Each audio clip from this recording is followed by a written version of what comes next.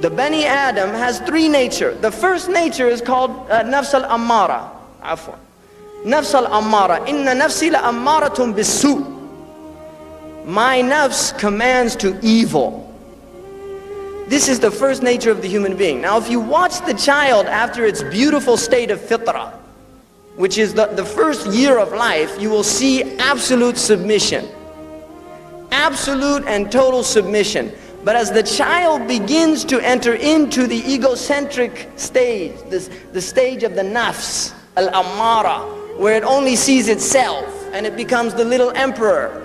And the parents are these servants, they become the slaves of the infant. When it enters into that stage, it only knows nafsi, nafsi. And what we have to teach it is no, there's other people in the world beside you, little boy or little girl. This is what the parent has to impart to the child. And it's a difficult lesson, and many people fail to learn it. Many people will spend their entire lives in that infantile egocentric stage in which they simply say, nafsi, nafsi. I'm all that exists and the world is here to serve me. And this is a sick and diseased state. For the adult, for the child, it's a, it's a wonderful stage of life, you see. I mean, we laugh at it, and, and it's beautiful. We don't laugh at it when they're 30 years old and they're still doing the same game. But when they're little children, it, it's, it's cute, it's beautiful. Because they're غير mukallaf, they have no taklif, they have no responsibility. And this is a stage that Allah has created in them for a wisdom, for a reason. So this nafs al-ammara is this nafs that says, do it, do it. You see, do it for you do it for you. Now this, if you look, this is, this is shaitan's game again. And the modern world is the world of the self. Everything you see out you is calling to the self, whispering constantly, you're number one. You're the most important thing in the world. Go for all the gusto you can. You only go around once. You only live once. Get all you can. Do unto others before they do unto you. This is shaitan's, this, this is his whispering into the hearts of human beings. If you don't get him, he's going to get you.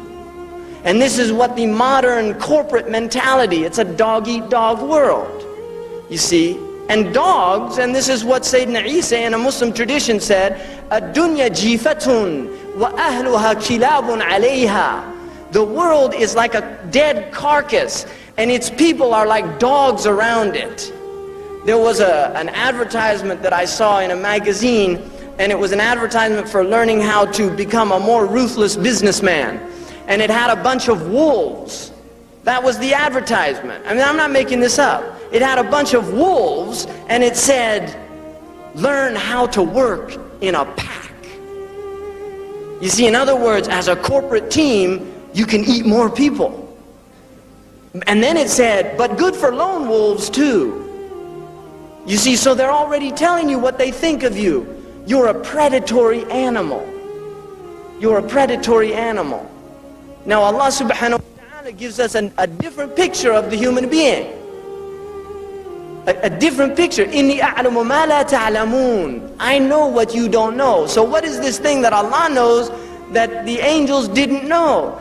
That the human being has a ruh, that he's a batini creature as well as a zahiri creature, that he's not simply body, that he's not simply hawa and shahawat, that he's not simply his passions and his bestial nature that calls him to sowing corruption in the earth, that he's not simply a nafs al-ammara, he's a nafs al-lawama, which is the next stage. Now, nafs al-lawama is where you move into a cognitive faculty that recognizes right from wrong. And this is part of the socialization that's needed from the parents and the society to teach the child.